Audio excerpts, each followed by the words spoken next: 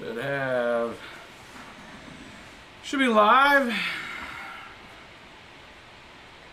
We will get started here. Make sure everybody can see us and configured. We should be good to go. It's going to be a pretty quick tutorial on the new multi-miner. And we're going to kind of go through just a quick cradle to grave on it. I was going to do this as a separate episode and I figured that we would just go through the main components of the multi-miner. I'll walk through on how to set it up, how to download it, all that kind of stuff. And then we'll have a small part at the end, maybe some questions and that. I think that'll help if people ask questions. I do not have the chat on the screen on purpose because most of this video is going to be just a tutorial. Um, but we do have Miss BBT here in the background and we will get some questions answered towards the end. So if you do any super chats or anything like that, I'll do all that at the end. So um, we're going to go ahead and get started. So the multi-miner 5.6.1 was released today.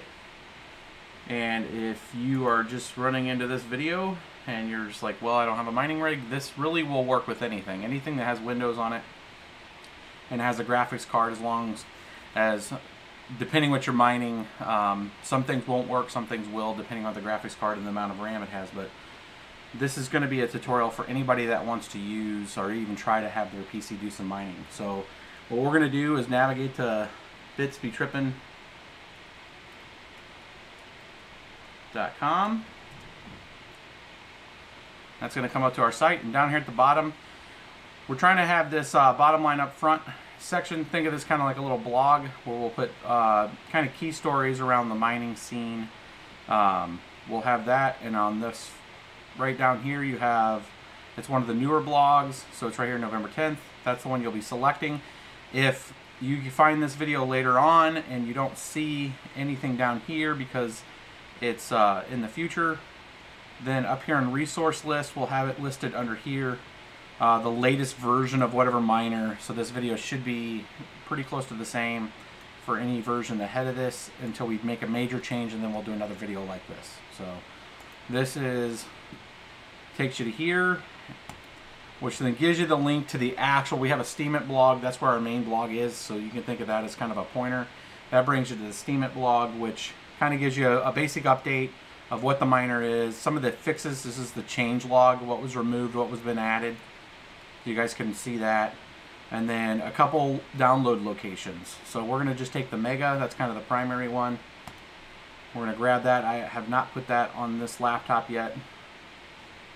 We're going to come up here, download the 155 meg. The reason why it's so big is it has 29 separate miners on it and we use about I think 13 or 14 of them but I did make sure that we had enough of the other miners out there that kind of covers the entire spectrum of the entire GPU mining scene. So if you do come in here and update as you'll see here in a little bit that you can actually add in your own uh, selection to the menu system. We're going to open up this folder. It's still downloading. There we go. It's in the downloads. And we're going to extract this. Right here in downloads is fine quite a few files. We'll be running it tonight on the laptop. This is uh, Alienware M17R4 it uh, has see here. It's the i7-7820HK, which is an 8-core, well it's 4-core with 4 virtual, 32 gigs of RAM, and it has a 1080 G GTX inside of it. So it's a pretty high performance laptop. We should be able to get some good sample testing through it. Now you might get this to where it's going to take, you can allow this on this device. This is a false positive. It's as part of the XMR miner. If you don't feel comfortable with it, you can keep it as remove. We'll just start actions on that, let it do its thing, because we actually don't use that. We just compiled it from source. Uh, and then that is the the thing that was having the issue is right here, the TSV XMR miner. That's the one that kind of throws a false positive. We actually don't use it in the batch file, but I have it in there. So if you get if you get a false positive on it, you can make the choice to either quarantine it or uh, allow it. But uh, we have it from a CPU standpoint. Um, if you want to just mine with CPU, uh, but we it is not included inside the multi-miner uh, bat, main batch file. So it's it's really neutral if you let it quarantine or not. So we let that open up. It is opened up into the BBT V561 folder. And essentially in here, compared to the last multi-miner, we consolidated all the miners underneath the miner folder. So you'll see all the different miners out here with all their different version numbers. And I tried to keep the actual full thread of the, the name the same so you can do some Google searching if you wanted to find some more advanced features. Or you can click into it and you can read the readmes of each of the miners have a, a readme on each of them. So a lot of people get confused on what switches to use. They start looking on the web. A lot of the miners actually have all the switches and the different commands that you can use inside the readmes, inside the folders. So all these different settings and fan settings and all these things that you can do with it are actually in there for just your edification. I, we leave all that in there. So if we go back up to the main folder here, you'll see the one that's running everything right here is this BBT multi-miner bat file. To edit that, we need to have Notepad++. So I already have it on this laptop, but we'll go ahead and, so you download this. The next step that you'll do is downloading Notepad++. You can just Google that or take the link that we had. It's the first link that comes up here, notepad.plus.org. We'll just re-download it. It's not that big of a deal. And run that. You'll you need to use that to edit this bat file. Now you, there are other tools that can read more advanced bat files if you are inclined to use a different tool such as Visual Studio or something like that, that works too. So once you run that, it just opens up. It looks a lot like Notepad. You can close those websites out. And then essentially you can drag this bat file over to this and it'll open up. So the steps that we've done so far is just download the miner, unzipped it, and we've pulled over Notepad++. That allows us to edit this batch file. This batch file is what does all the magic. That's it. This is essentially the multi-miner, is essentially just a, a bat file. So when you open this up, the very, very first thing that you want to do is depending what you're going to mine, if you're going to mine Ethereum or if you're in Classic or any of these different currencies, you want to change this section right here. This is where you put your wallet address in. So you can go out and download a wallet. You can a lot a lot of the exchanges don't want you mining straight to them. Um, so you'll have to get like a Jaxx wallet or a, a, a few other types of. I mean, depending which which coin you're going to mine, you, you got to find a wallet that's compatible with that coin. Once you get that, you'll get an address, and then they'll replace that here. So, you know, we've recommended Jaxx. I use Jaxx on the on the phone. Um, there's also uh, MyEtherWallet, which is uh, a, a, web plugin that goes into Chrome. You can use that. There's just you know, there's several videos out there to get wallet addresses. Um, and then you can go in here and you want to replace this. So depending which coin, you don't have to replace. You don't don't have to go out and find a, a wallet address for each one of these. It's just the one that you're going to mine is the one that you're going to replace because essentially all of these are our our wallet addresses. So if you turn on the miner to do one of these coins, it's going to be mining for us. So you want to go out there replace this wallet address. So you would just go in, find your wallet address, copy and paste that over there. So that's the first part that you want to do. The next part that you want to do is all these things that say set. Right down here. So right underneath this section here, you have the miner web login, the worker password, the miner name, and then the email address. Some of the different pools require different things. Some of the pools just require the wallet address. Some of the other pools, when you choose a coin, will require a miner login, which is just essentially the username that you have when you go to the pool. So if you go into Supernova, which is one of the pools, and just below this we have all the different pools that are used inside this uh, multi-miner, you can hit their URLs right here.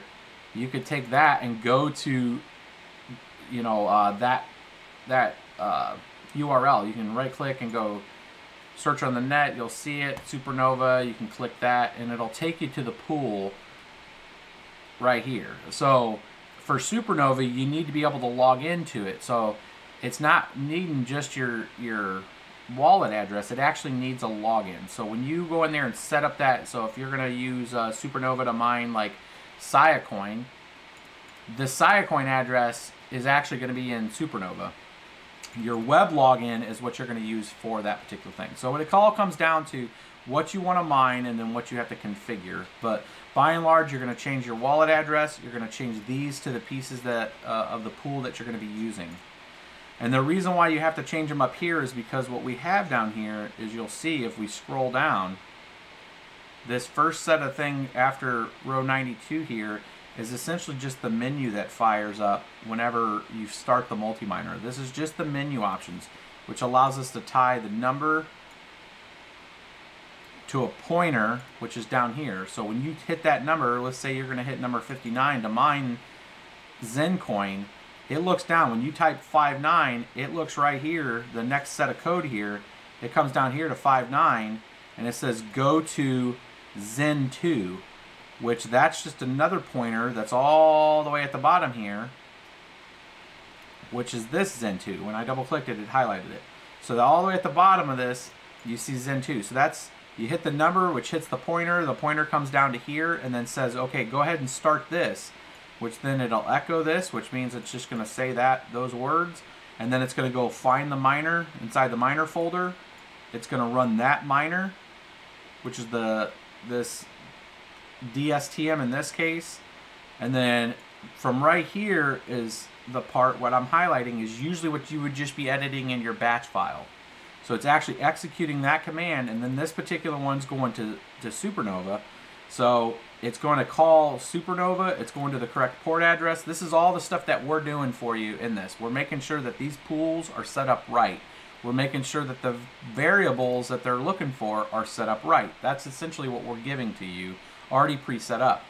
All you would need to do is right here is to change that web login that's up at the top that way you don't have to mess with any of these settings down here.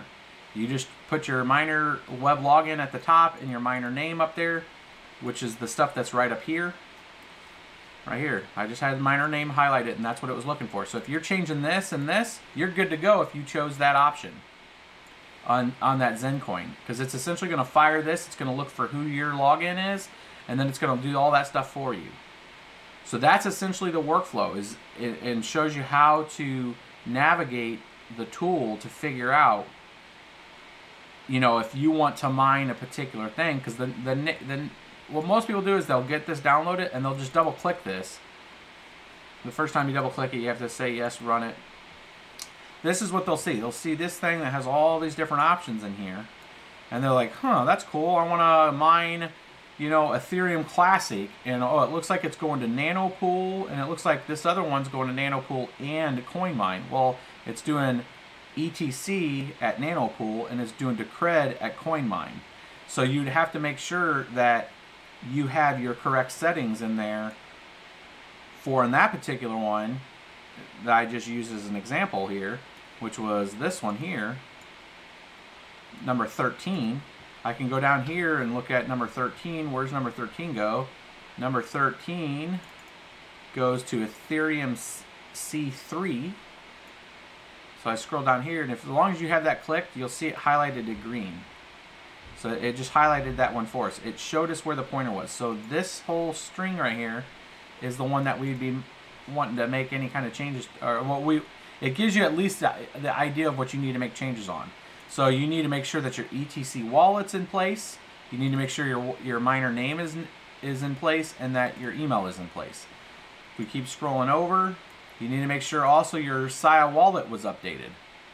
And it's still going to pull the same miner name and the same email address because those are both shared. So on that particular one, that's where you would, on Nanopool, you just update your addresses, your miner names, and your email address.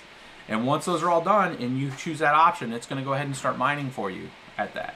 And if you want to monitor the progress on the mining, that's why we added this section up here where we put all the mining, the the different URLs for the mining pools. So each of the mining pools are right here and kind of the coins that they, they can take care of. Now all these coins are not in our multi-miner, but these are the coins that these particular mining pools support. So we wanted to make sure all that was in there too. So like on this case where we're going to Nanopool, we can highlight that, right click and do a search on the internet. And then right there's Nanopool. So if we went to the root of Nanopool, it's going to bring up the all the different pools here, Ethereum, Ethereum Classic, Siacoin, Zcash, Monero, Pascal. So on that one we were using Ethereum Classic, we could go in here and just click this button here, which will take you into their pool. And if you were actually mining to that right now, you would see, you could search your address up here and then it would take you to where you're at on this. Right, so if we, we can use this as a demo. Um, let's see here. We were using Ethereum Classic. So we're going to do number 13. And if I hit 13 and enter, it's going to fire that up. So you can see that it's hitting ETC and the Siacoin. The first time it's always going to ask you about a Windows firewall. You hit accept on that. If you hit S, you can get updates of the status. So here it is mining. Now this is going to be mining kind of kind of low because this isn't this is an uh, NVIDIA 1080. And there's no overclocks or anything set on this. It's just out of the box.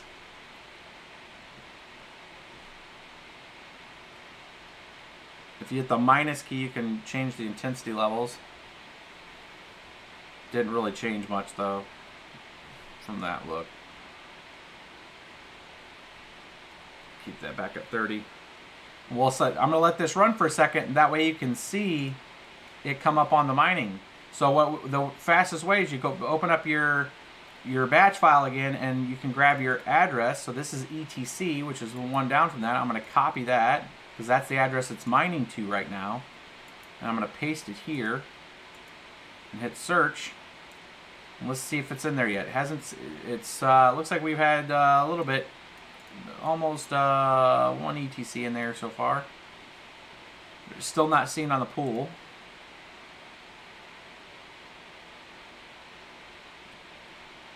So if we'll sit here and let this run for a second, it'll actually, you'll see it pop up on this screen here for Nanopool, and then we'll also check the Psy coin pool because it's also, it's dual mining right now.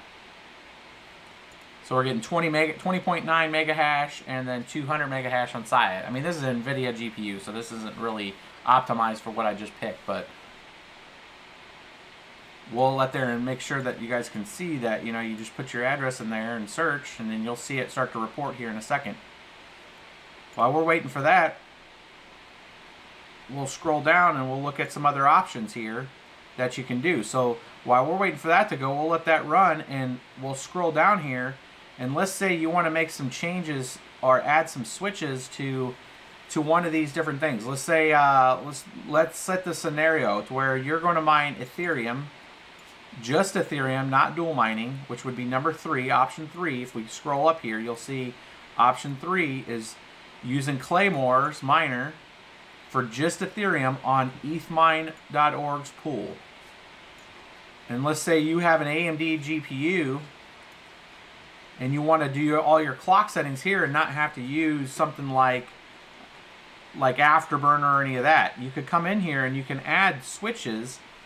And what I say, mean by that is if we come into the miner folder and we go into the Claymore folder, let's go into Claymore, where's 10 at? Just miss it, there it is, 10.1. If I come in here and I look at the README, we can take these switches here, just down a little bit, right here and start making changes in the line. So what I want to do is I want to set the M clock, or the, the core clock. So this is the same stuff that you would do in, like if you had Afterburner. Now this is AMD only also, by the way.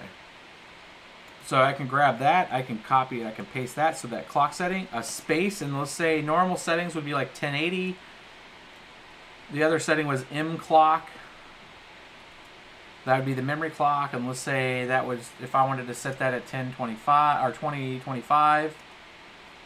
And then if I wanted to do also the voltages, right here is the memory voltage and the core voltage for the GPU is the CVV, CVDDC.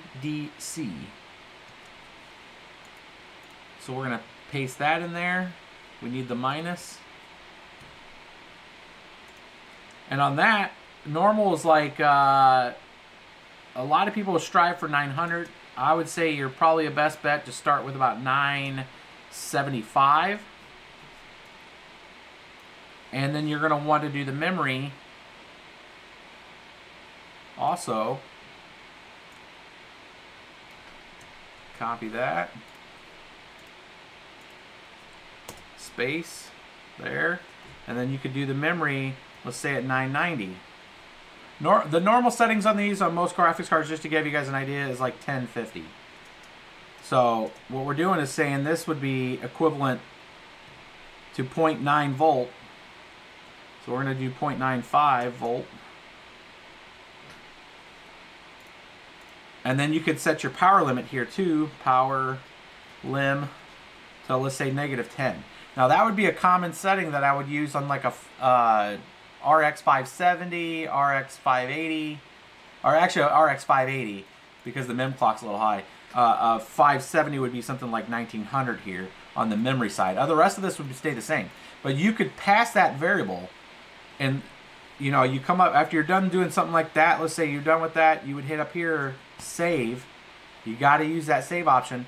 And now that setting, when you run number three, is going to pass those variables. Now you could copy that and you could paste it to any of the other Claymore miner setups. Like this one, let's say the Siacoin just below this, you can kind of come over here and you can just add it here at the end. Hit a space bar. Can you scroll that setting down just a little bit more so it's under the box? Yep.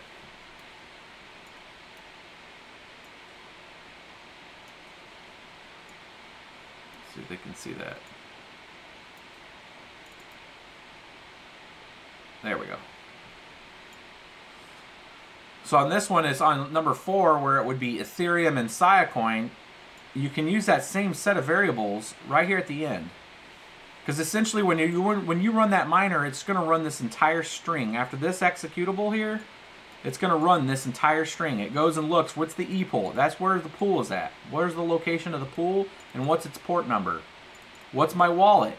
Well, that wallet is pointing up to where the Ethereum wallet pointer that's at the very top. And then this pointer is pointing at what's the miner name. And then the next variable is what's the password. And the next one after that is, oh, there's a second pool. There's this is you're gonna dual mine. Cool. So what's that path? You know, and that's all it's doing is it's going through and it's running each one of these things and passing these variables back. You know, there's the Siacoin wallet, there's the miner name. On the Siacoin, we have an email address added with this slash here because then that'll email us if the worker goes offline. And then after that, it's given a variable to say, yeah, I'm mining the Siacoin, which sets up the algo right, the algorithm right, and then it goes through and looks at these clock settings and pushes the clock settings. Now, these clock settings are only for AMD. So we've been running here now for a little bit. Let's see if, let's refresh this. See if we got it hashing yet. Still shows offline. Let me see here. Is this thing actually running? Or did this miner crash?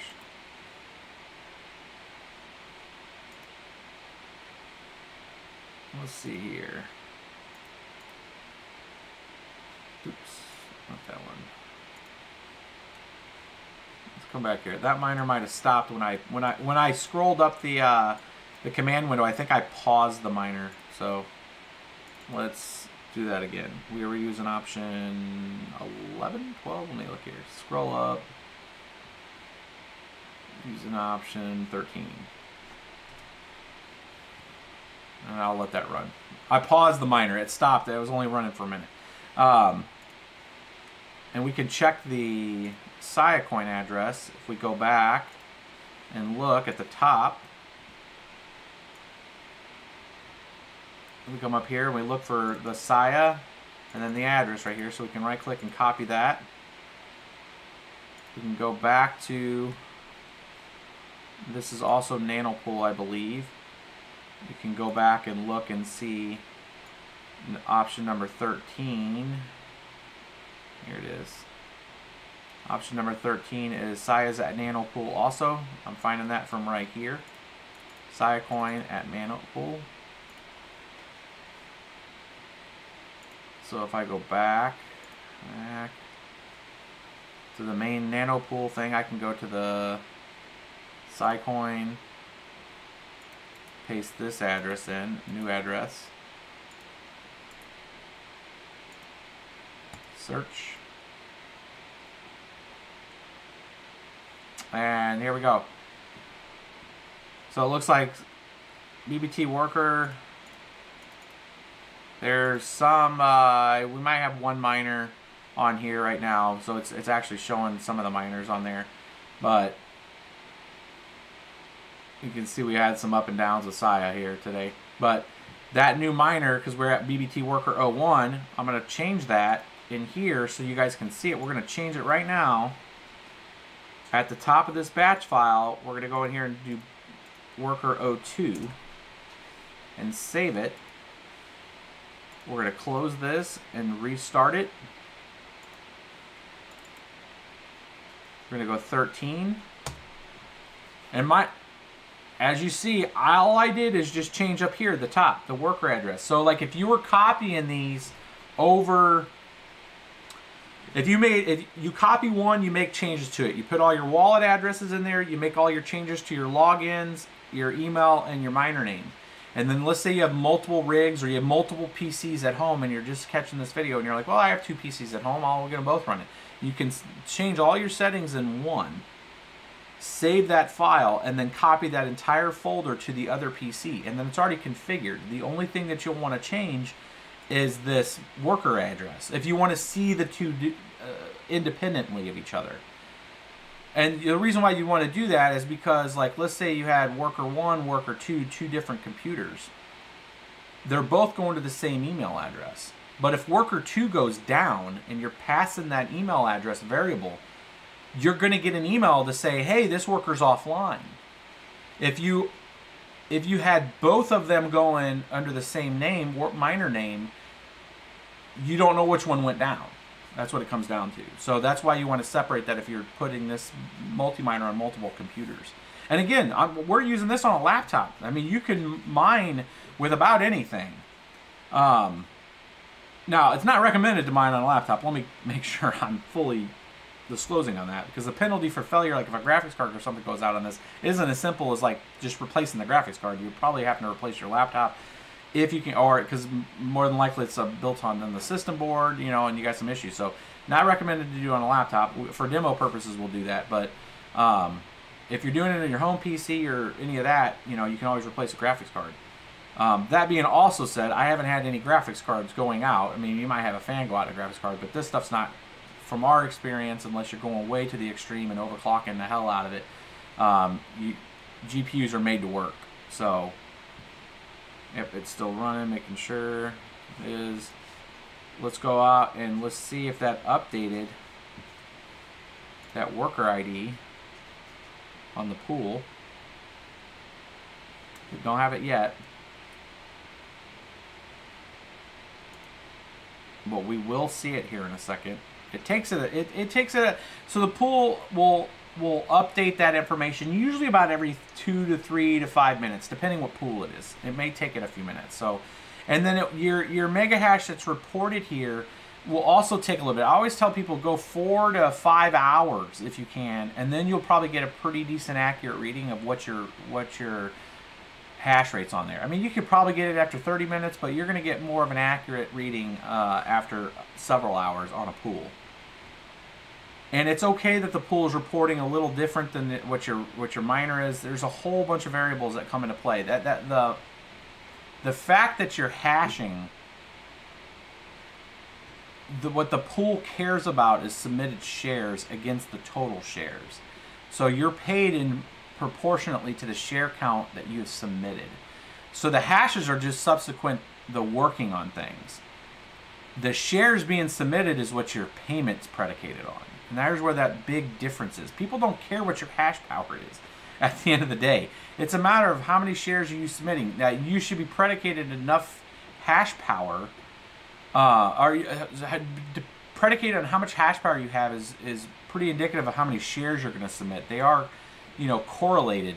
However, it's not the end of the world if you're off a little on uh, if it's off a little or if the, the pool is actually showing that you're getting more hash rate than your computer's reporting because that happens a lot too. People are like, hey, I'm mining and only have, you know, I'm only sending 30 hashes to the pool, but the whole pool says I'm doing 37. That's cool.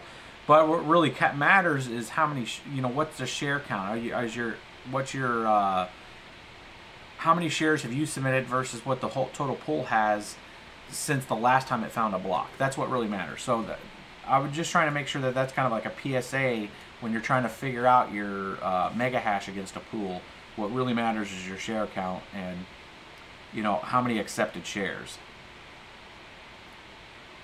So you can see here as I, I move my mouse over here, you know the different amounts of uh, shares accepted and then the constant line of current uh, hash rate. So let's refresh this again and see if we see this. Still don't see it yet. We're going to sit here and let this run for a little bit. A little bit longer. How long? Has It's been running for four minutes. It will show up there.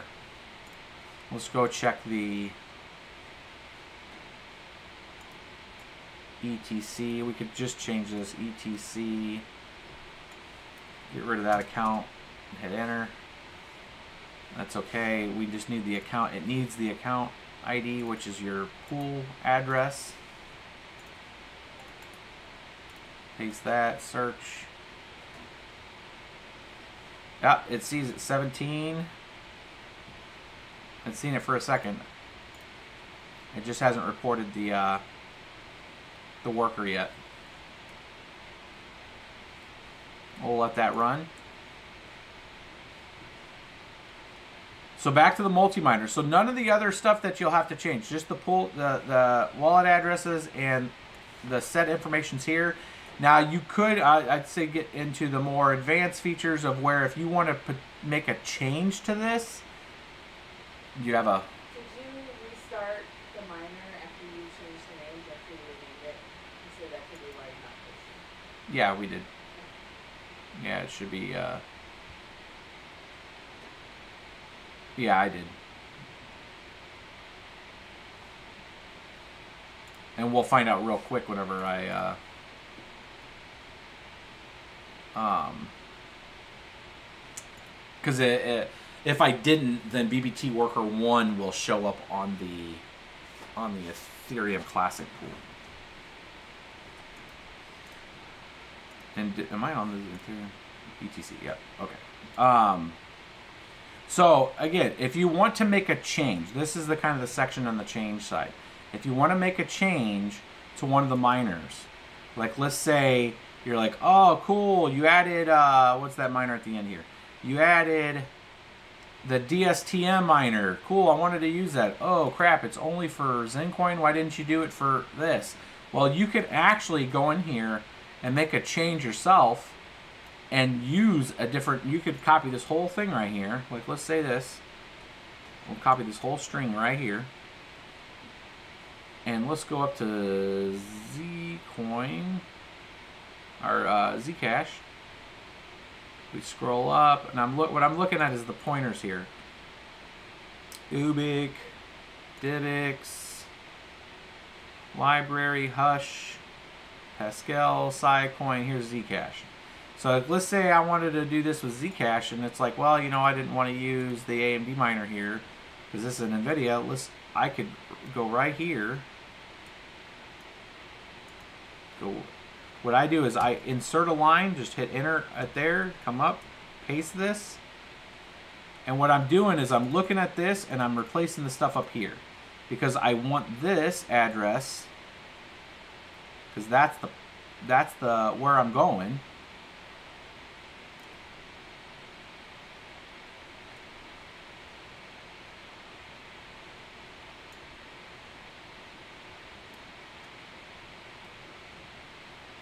And you see how on this on this miner, it has the port at the end here with a colon. On this miner, it wants the port here. So you have to come over here and back through this. Hit a space bar. And you want to put the, I don't remember what that, this port here, 66, 6633. And then the wallet here is wallet address. So instead of web login, we're going to be using this piece right here. Copy.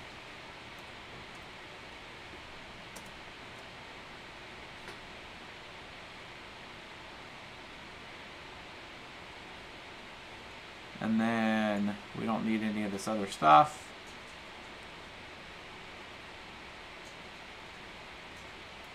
And this server is not going to want to pass that variable, I bet.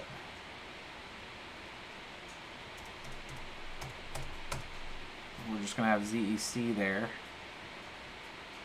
And what we're going to do is we're going to verify this. Now we're going to delete this part up here because we don't need this anymore.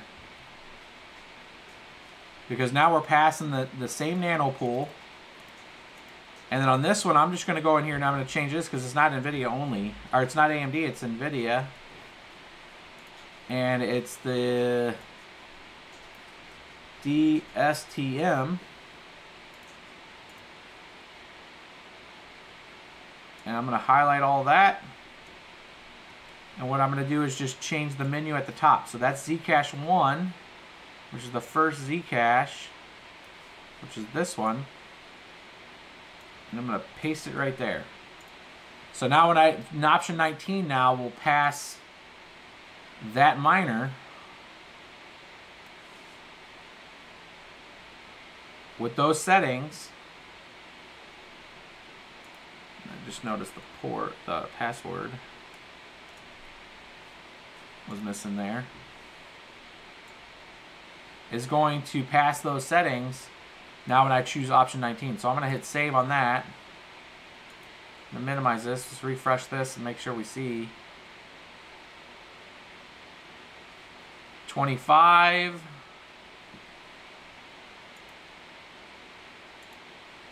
It's going up, but it hasn't reported it yet. Eventually that's going to pop up with the worker name and we'll see it. The hash rate's increasing though.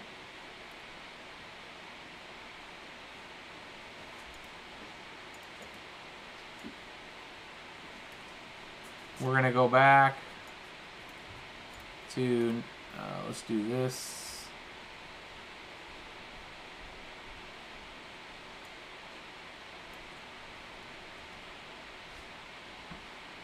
Sia search.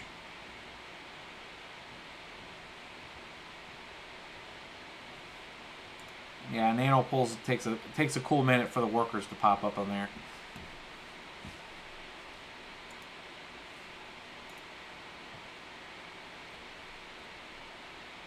Been mining for 11 minutes.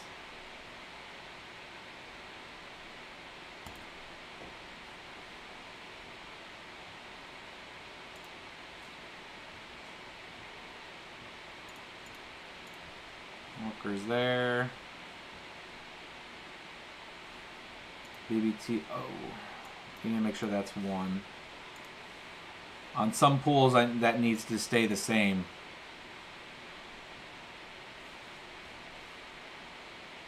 Or at least on the, the Supernova pool, I have to make sure that the worker name is the same.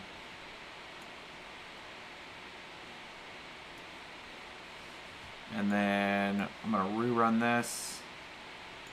And we're going to check that number 19 if we scroll up.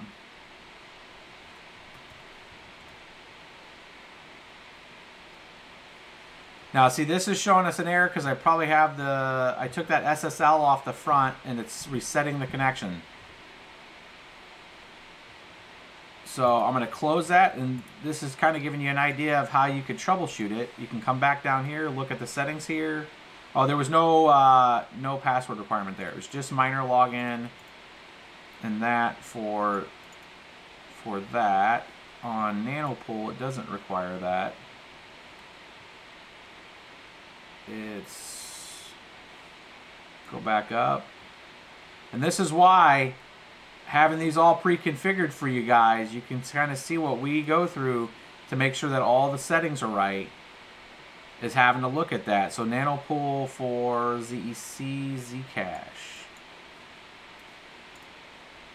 So nanopool, going back to the root of nanopool.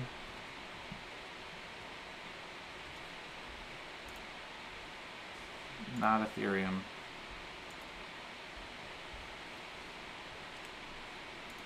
Zcash.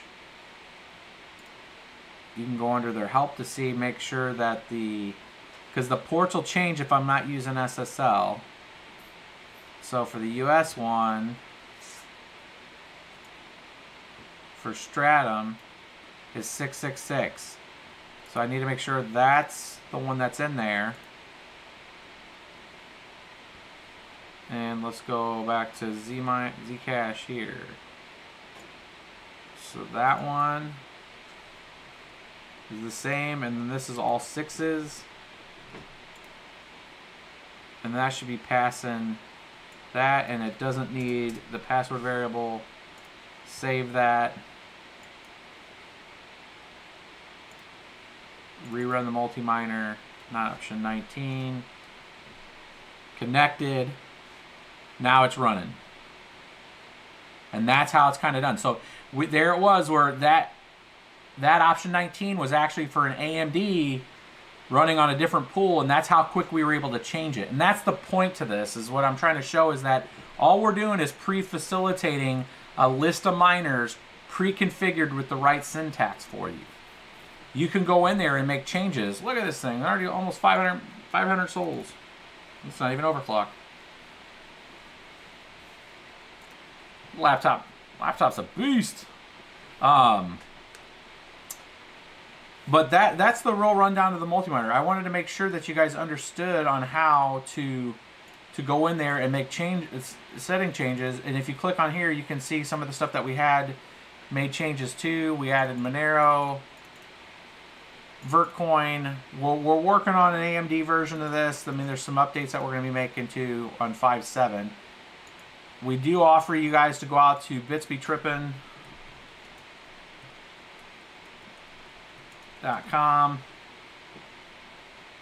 and you know hit our discord link right here.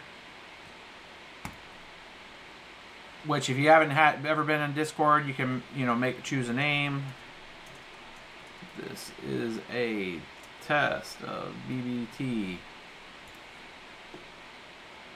and then that's going to drop you into you can skip that part right there. That's going to drop you in right here. And then you can claim account get accepted and then you'll see you can ask questions with anybody that's in the uh, discord. Be part of the community.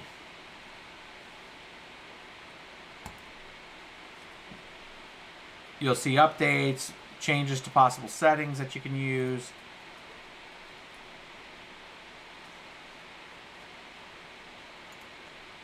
It's interesting. I had a couple settings and just dropped back down. All right. I think I covered most of the stuff. I wanted to make sure you guys knew how to edit it. That there's other miners in here that you can go and check and look at. Different coins. You can add coins the same way you need to make sure that if you want to add coins that you have to add the appropriate wallet address at the top. Like I left this Z, uh, Zcoin address up here but if if if for whatever reason you wanted to add some other coin like set then you could put the, the a different coin name um, you know XX1 or something. If there if there's some coin out there name that. You would just do that as wallet address equals, and then you put the you put the wallet address right there, and then when you're calling the variable here, if for whatever reason this Ethereum one was that address, you would just erase this, and you would do the percentage, and then you do XX, and you right there, you see XX1, you hit that, and then you got to close the the parenthesis there, and now it's going to call. If this was like some new coin, it's going to call that address, and it's going to use that miner name that you had at the top. That's all that's going on. Multi-miner is that simple. I know it sounds stupid, but this takes quite a bit of time when you're trying to condition it and make it right for your different coins and stuff. So Can you show the auto start? yes. So on auto start, if we wanted to make this to where it automatically starts, you can do a couple things. So first off, you go and drag this with a right click and let go. Create a shortcut. And this, I usually name this shortcut auto start. Right, and then right click on this and go to properties. And let's say we want to automatically start that thing that we just did, that number 19. Right on the target, it's going to put the path here. You need to have that, that 19. You, you do a space and then whatever number you want to pass it. So if it's 19, if it's total pool and it's 33 Ubiq, you'd use 33 there. You hit apply, and then if you double click that, it's automatically firing that up. It's passing that variable to the multi-miner and then just starting it. So why does that matter? Why you're like, oh, why? Who cares about that? Why would I want to just automatically start that? Well, because you that is what you will put now into your Windows startup that if I went into users, let's see here. Oh, it's uh, application data. Which uh, this is a fresh build laptop, which doesn't have any of this stuff turned on, or I can get to. I'm taking you the long way. Show hidden files. App data. Local, Microsoft.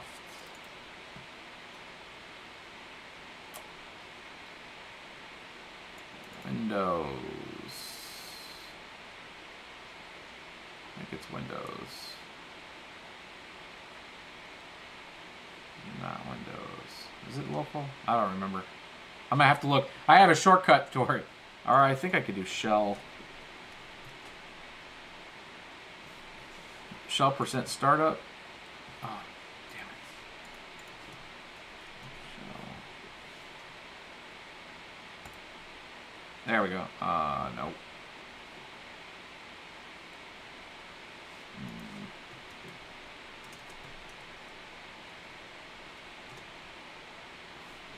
Don't know why it's that's not working.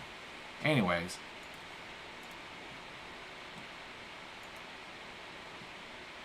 App data. Roaming Microsoft Windows startup. It's it's under roaming. Startup right here.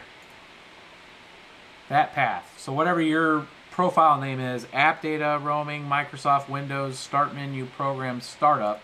If you were to move that in, so let me open up uh, another little Explorer window here. Downloads, multi-miner.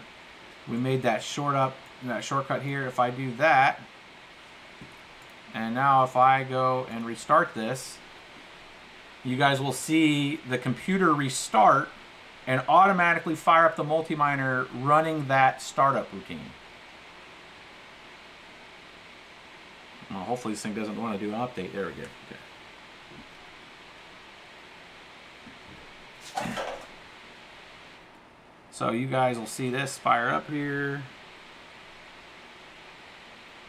It's actually booting. I don't know why it doesn't show that first screen. That's interesting.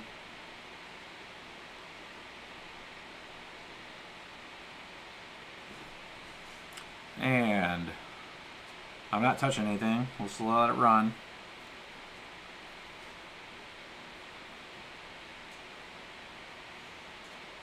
So it's booting up, and there it goes.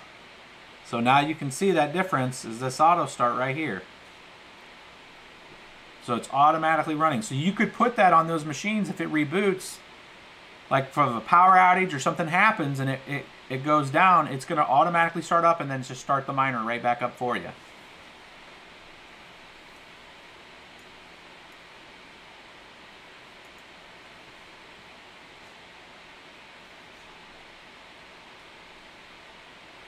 All right. I think we covered most of the stuff with the multi-miner. There's not much more to talk about on it. So you modify the same values for pools, like if I wanted to mine more coins to Supernova. Correct. That was a super chat. Yes, you would go in here and edit it, and then you would go to the particular. So if you look at this list and you're like, hmm, Supernova has most of these coins. I would like, I don't want to go to Hodl Pool for Expanse. I want to go to Supernova for there. You would look at number 38. You would scroll down here. When you highlight that 38, it's going to say go to Expanse 1. If you double click that, it's going to highlight that green. You can hold, scroll this down until you see the green. There it is, Expanse Miners. And then you would change this pool information to your particular supernova pool information. And then you'd want to pass the supernova variables. So you see like Expanse here is essentially the pool address information and then it goes straight to just your wallet. Well, Supernova, you pass a web login because your wallet's actually in Supernova. So you would be put you would just be using your your miner login you would be just essentially doing this copying this and pasting it over this because that's a supernova address right here that's for bitcoin gold. You go here you paste it and let's say that this is what you were wanting to do but with expanse you'd copy this you would paste over this because now you're going to supernova and if this was expanse exp and the only thing we're missing actually on this whole thing right here now is the uh, we're missing the port number for Expanse for Supernova. So what we can do is right click on this, go to search on the web for Supernova. We can click on Supernova, scroll down, look at Expanse. Here's their Expanse. Start mining. That's going to pull us to exp.supernova here. And then here's their commands. So for normal stratum difficulty, 3333, we'll copy that. Right here's their address. So that would, we'll just make sure it's that. Copy. And we go to here. Paste which just all I did is add the 3333. And now this this expanse is to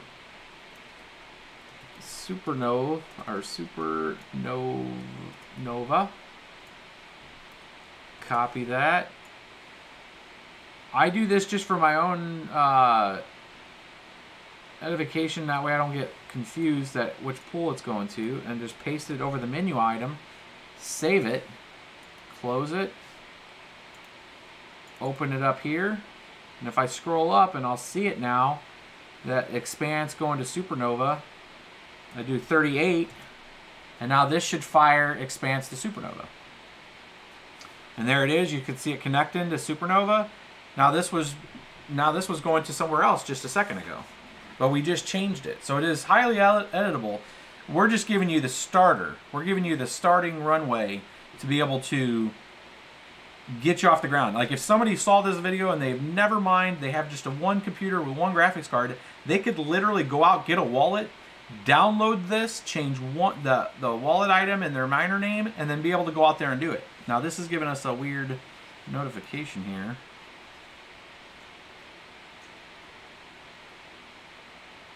Weird, uh, and that might be something with, uh, with Supernova, and it might be that port that I'm trying to send it through too. But this is the stuff that I do, is I'd go and test this. It's not going through right now. So I'd go back to here and look. They want the full string. They just don't want that. So they want the stratum plus TCP. So we're going to come back in here, edit this. We're going to go back down to expanse. Here's the expanse miner. And we're going to paste this that whole string in. Paste. So the only difference on this was is they need to know that they're we're using Stratum and that it's going across TCP. So save, close this, relaunch the multi-miner. That was option 38. And let's see if this passes. This is essentially what we're doing when we're putting this together for you guys is we're going through and then I I get this working on a machine and then I have to go now this failed to bind because I had it open twice. Let's do this. If you ever get a bind error, more than likely you have another miner running in the background because it's using that same port to report. The same port to report. Those are two different words. Still getting a weird response error. Method notify miner param.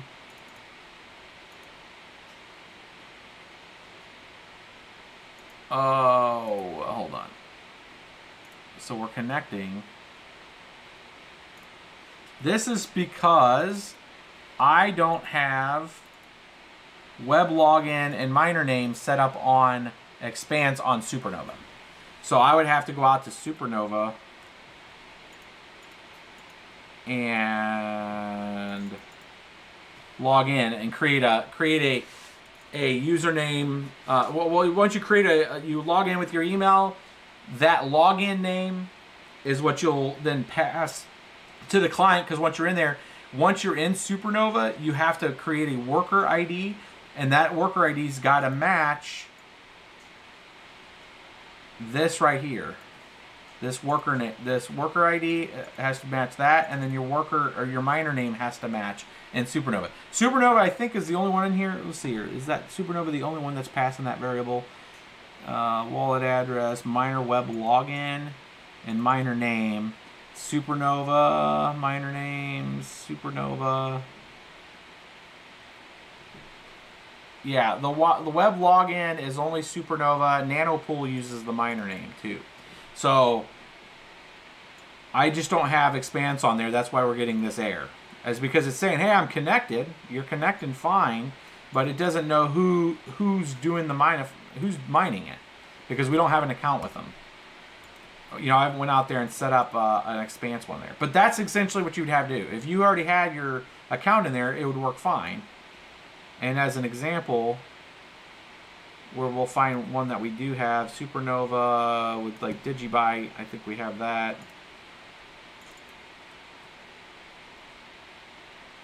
Digibyte CC Miner for two. So this is connecting to Supernova, and then that connected, and now we're already running because it passed. It connected. It knows that we're we're a miner on here, and it's running.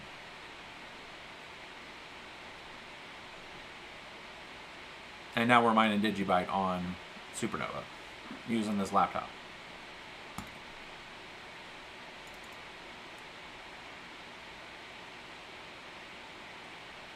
Any other uh, questions? We'll wrap it up. We're almost right at an hour.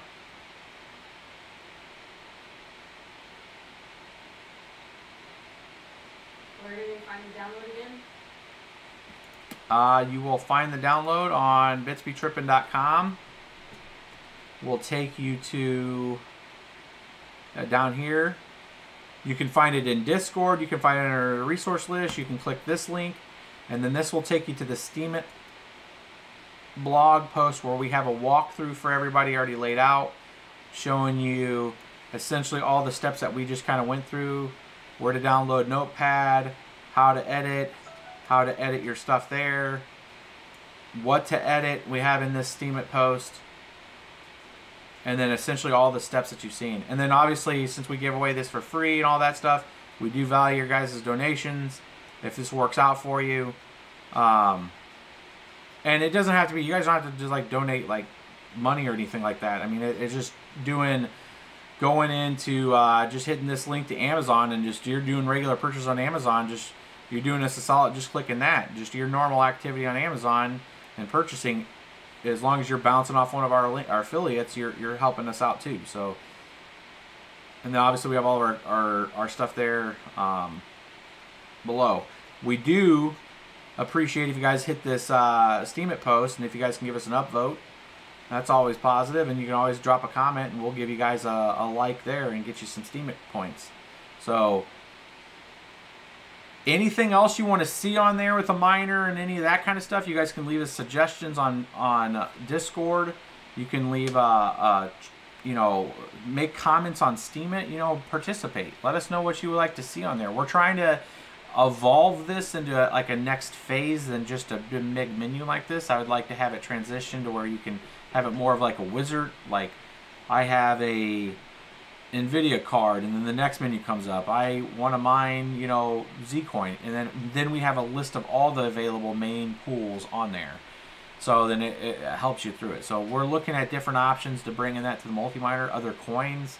If you guys can post under this video, uh, find us on Discord, post in there the suggestions part, and just let us know what you guys want to see with this and how, how we can expand it. But we wanted to really lim you know bring down the point of entry to where anybody if you're watching this video you stumble on it and you jump through this video and you get to this point you can download this and partake in the the GPU mining out there with everybody else and get a little bit of crypto in.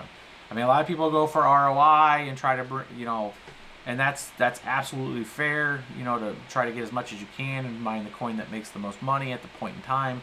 But you know, you're just a guy finding this thing and you can go make a Feathercoin account and just download some Feathercoin and get quantitative amounts or Siacoin where you're getting thousands of coins and then use that to trade between people, you know, and just trade to your friends, let them check it out, download Jaxx Wallet on your phone, start trading some of the currencies and coins, um, and just get used to it. The penalty for failure with just playing with, you know, coins that aren't worth a lot right away gets you exposure to the, the industry, lets you understand what I always tell people is one of the worst things. Um, we should be talking on this like this. One of the worst things that you can do is is go out and spend a lot of money on some Bitcoin and then and then just not have appreciation for the understanding on how it transfers and you know uh, you lose a lose a, a your private keys or you do something like that and then now you just lost you know hundreds of dollars you know go out there let your computer mine one of these lower hash rate coins, get some of it into a wallet, and then be able to make that exchange. Get you know, if you have a well a wallet plug-in for like uh, Ubiq, and you're using the Pyrus wallet, and you get you know four or five Ubiq, and you can transfer that between points and stuff like that. You get that understanding of the transactional nature of the way cryptocurrency works. You know, use those coins as your your baseline, and then you can earn it. You don't even have to go buy it. You can just sit there and run your miner get some currency and then understand that transactional standpoint. So it's a good way to get your friends into understanding it and how all that kind of transfers. And you don't the barrier the barrier entry is very low. Um, just use your computer, a little bit of power. Um, any other questions? We'll wrap this one up. From earlier, I wrote down people had asked a couple things. Um, why did you use Notepad Plus, not just Notepad or WordPad? Uh, nope. If you try to open this up in uh, in Notepad, I believe it just blows up. Oh, not that. Let's just do this, and let's do. Where's my open with? Well, it knows that it wants to open it here. Edit there. If you just edit it, that's what happens is it's a complex set of strings and it just notepad doesn't know how to parse it. So it blows up. You need to have something that can can parse the uh, the more advanced breakdown here. So.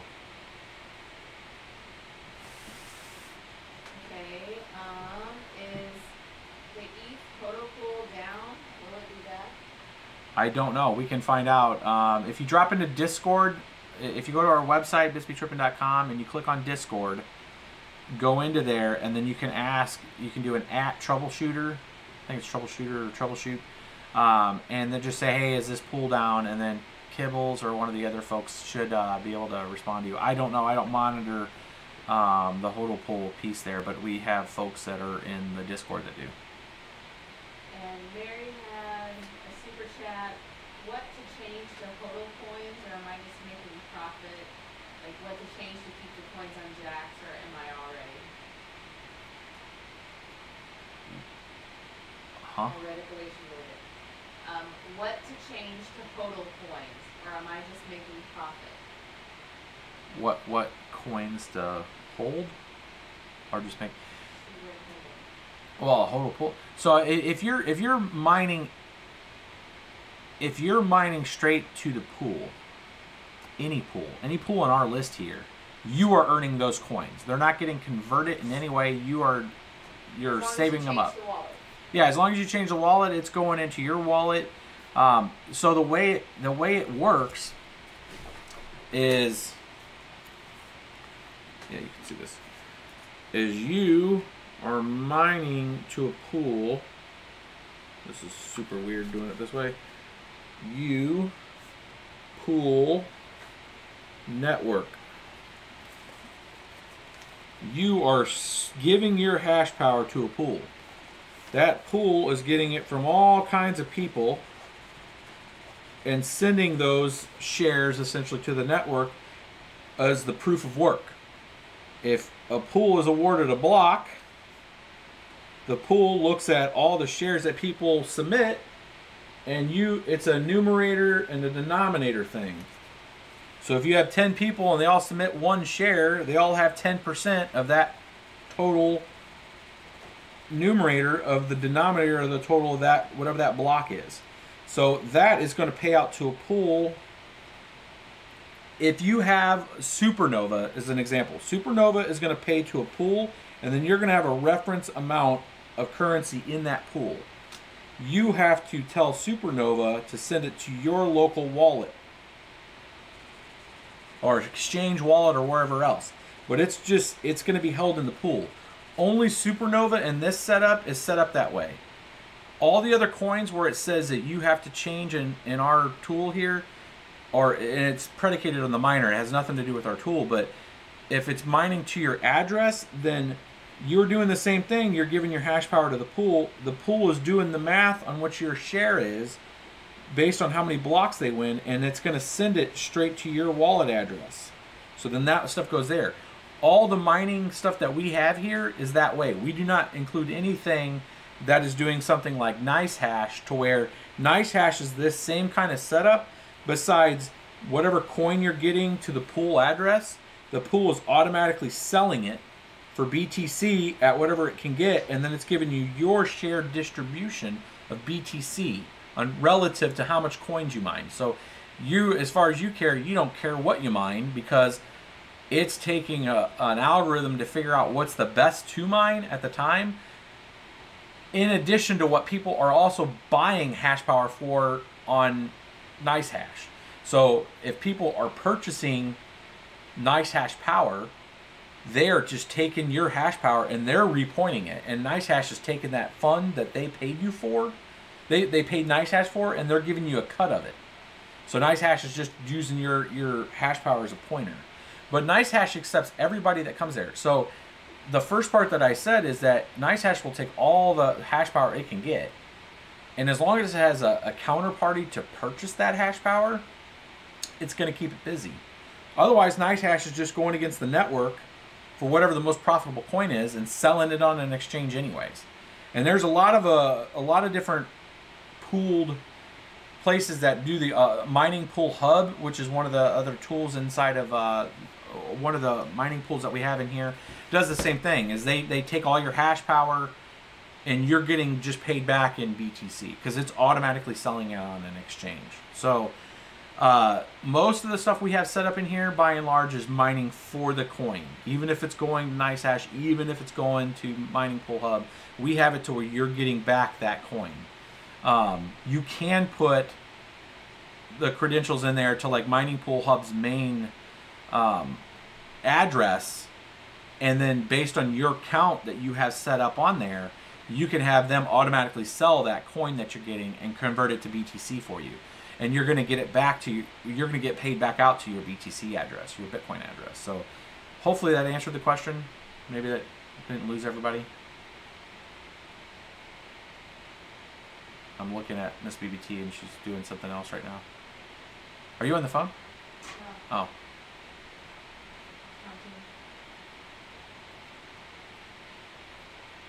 so if that if that wraps it up, I think she's disengaged. I'm gonna get.